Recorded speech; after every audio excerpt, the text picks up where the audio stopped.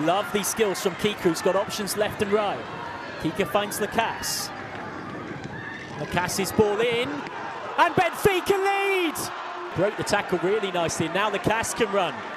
Already has an assist, here goes Lacasse. Lacasse is going to shoot, oh, it's dribbled in!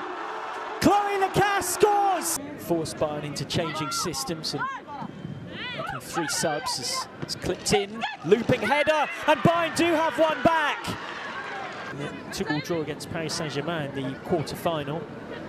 Made a first-team debut in February. So it could be 2-2. It is 2-2. Damjanovic, and now it's Stanway. Stanway to shoot, and Georgia Stanway to surely win